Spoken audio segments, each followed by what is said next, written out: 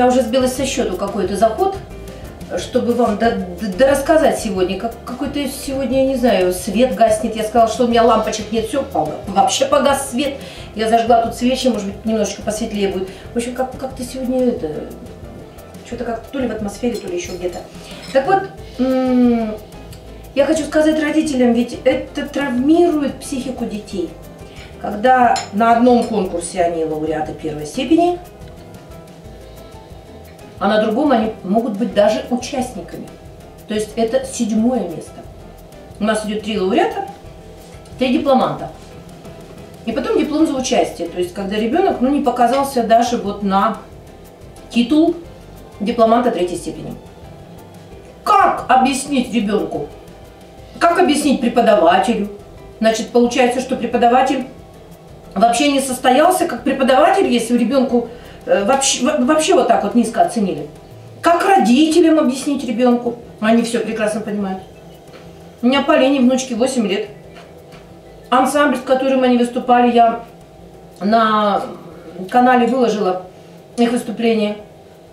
Я бы им дала э, смело лауреата третьей степени. У них были ошибки, но это было очень достойное выступление. Достойное. Не дали. Не дали. Но надо как-то их закалять, надо что-то как-то вот делать. Дети должны уметь проигрывать, и детям нужно, конечно, их нужно успокаивать, но нужно еще думать, на какой конкурс пойти. Пойти ли или не пойти. Вы тоже должны в этом отношении быть мудрыми. А то у нас получается, мы, а, мы в, в это, на все конкурсы ходим, а то, что, допустим, заявленное жюри, вы обращаете внимание на жюри, но вы должны не в этом отношении ходить. На этот конкурс пойдем, там лояльное жюри, там хорошее жюри. А, это той картины большая польза, на дырку в стене закрываем. Типа мы знаем эту тетю, мы знаем этого дядю. Нет! Вы должны быть готовы. Вы просто должны быть готовы. В первую очередь, готовы душевно, морально, смело. Я еще раз и еще раз утверждаю, вы мне сейчас хоть закидаете кислыми яблоками, там, помидорами, там еще чем там, яйцами кидают, мне все равно. Я просто уверена, что если ребенок сцены боится, если он не может, вот, э, понимаете, понимая, что там на него жюри смотрит, там зритель еще что-то, э, что он будет испытывать на сцене дискомфорт, ну зачем его на эти конкурсы водить? Ну пусть он выступает сначала перед родственниками, устраивайте в детских садах, устраивайте в школах выступления, устраивайте, чтобы он нарабатывал вот эту практику, концертную практику выступлений, потом, пожалуйста, на конкурс. Но ведь мы же хотим все и сразу. Родители, милые, ведь вы травмируете детей. Потом дети, ладно, школу пропускают, утром ни, свет ни заря встали, прически делаете, ребенок не доспал, ребенок, значит, весь никакой. Вы на целый день с работы 100% отпрашиваетесь, потому что конкурс это все, это стресс, это сумасшедший стресс для всех. Абсолютно. На работе опять конкурс, опять вы, значит, там э, отпрашиваться хотите, там, вы либо в счет отпуска берете, либо вы без содержания берете, я не знаю, что вы там делаете, но это целый день, это вылет. Это целый день, это не рабочий день. Но вы немножечко взвешиваете все вот эти моменты. Готовы терпеть вот такие вот, понимаете, я даже не знаю, это не фиаско. Э, дети вообще никогда не проигрывают, вот в моем вот понимании, дети выигрывают всегда. И я всегда говорю, если вы вышли на сцену, вы уже выиграли. Но ведь я же тоже в жюри наблюдаю все время, зачем ребенок этот вышел на сцену? Зачем родители, преподаватели его делегировали на этот конкурс. Зачем? Не понимаю. То есть ребенок боится всего, он не готов, он, он не артист. Они должны быть уже маленькими артистами. Они уже должны, не нужен никакой антураж, ничего не надо вот этих вавилонов, я об этом рассказывала тысячу раз. Но он должен выйти и спеть спокойно совершенно, спеть. Без всяких, без, без всего. Мне дети, э, студенты Э, народного отделения, э, часть из них ездили на студенческую весну на финал в Казань. Приехали и сказали, я говорю, ну как, ребят, съездили, как хорошо? Да нормально съездили, Наталья Викторовна. конкуренция была очень большая. То есть не народного сольного отделения э, студенты, а те, которые учатся на отделении, но еще параллельно уже преподают. И вот в студенческом, э, в одном из клубов, руководит вокальным ансамблем одна замечательная девушка. Она говорит, ой, такая конкуренция была, Наталья Викторовна, ой, вы что? Ну мы счастливы, что мы съездили, мы все это посмотрели, все, на что обращали внимание, там все она поделилась. Она говорит, а вы знаете, в авторской песне кто, кто гран-при получил? Дали гран-при в авторской песне молодому человеку, э, студенту. Он написал эту песню, причем на английском языке, песня очень хорошая. Пришел, вышел просто с гитарой, спел, ему дали гран-при. От души спел, хорошую песню написал. И жюри ему дали гран-при. Никаких вавилонов, ничего. Вышел, спел, получил, ушел.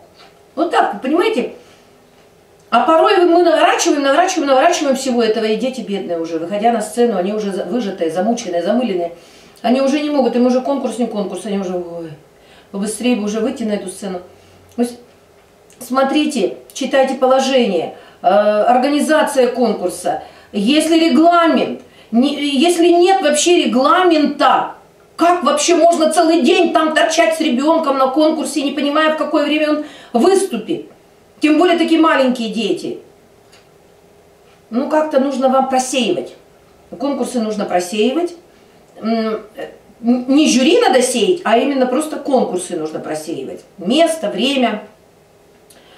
Э, те задачи, которые ставит этот конкурс, э, обязательно выполнять требования по положению, которые там прописаны. Это все очень важно. Все очень важно. И Воспитывайте детей тогда, если вы хотите, чтобы они у вас выступали как можно чаще. Да, конкурсы, конечно, подтягивают они все это, но мой вам совет, начните с простых концертов, не конкурсных. Они совершенно, ой, извините, они совершенно по-разному выступают.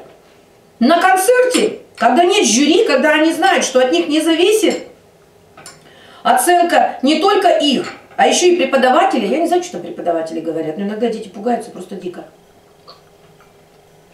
Если я там что-то ошибся, все. Поэтому на концертах они раскрываются. Ну и пусть они чаще на концертах выступают, когда это не будет, оценка ставится с жюри, а когда это будет зрительный зал, оценку ставит, а дарит аплодисментами, ребенок будет э, с каждым разом в себе чувствовать уверенность вот эту. У него появится сила, отсутствие страха, вся боязнь уйдет. И потом он выйдет на конкурс и победит. Мой вам совет. Мой вам совет, потому что будьте готовы ко всему. К любому, к любому исходу э, на любом конкурсе. И оспаривать вы не сможете. Не сможете оспаривать. Вот настаивать на авторском праве, да? Настаивайте, отстаивайте свою точку зрения. И возвращаясь к тому, с чего мы начали, с вопроса, который задала Ирина, для меня это просто вот ни в какие рамки. Те вещи нельзя допускать. Если вы приготовили с ребенком эту песню, вы с ним ее учили, причем даже если ребенок, вот еще момент какой, будьте тоже внимательны, это тоже неправильно. И вам могут претензии предъявить, могут, а в частности к преподавателю, не к ребенку, не к родителю, а к преподавателю. Ребенок занимался у вас, вы с ним выучили, вы ушли от него. Ушли от него, перешли в другую школу. Преподаватель в другой школе задает вам вопрос, а какие ты песни знаешь, а какие ты песни учил, там то, то, то, то, то. Вы говорите, мы вот эту песню, мы вот с этой песней на конкурсе были, а спойте. Ой, как ты замечательно поешь, ой, замечательно. Проходит там полгода, допустим, а вы ее повспоминали, там туда-сюда, ребенок спел, вы ее, эту э, ребенка с этой песней выставляете уже от своей школы, как от, от своего класса, заявляетесь преподавателем. Нельзя. Это недопустимо. Недопустимо. Я как преподаватель, я бы подошла и сказала, а почему вы, собственно говоря, с песней, которую я с этим ребенком учила, вы с ним заявляетесь на конкурс. Вы, пожалуйста, учите свою песню. То есть берите с нуля, готовьте ребенка и с гордо поднятой головой заявляйте его на конкурс. А почему то, что я готовила, то, что я с ребенком выненчила, выстрадала эту песню, с ним вместе, болели мы с ним вместе за эту песню, сколько раз, а вы сейчас берете готовое и э, в своих, так сказать, целях используете. Нет, нет, нельзя. И родители здесь должны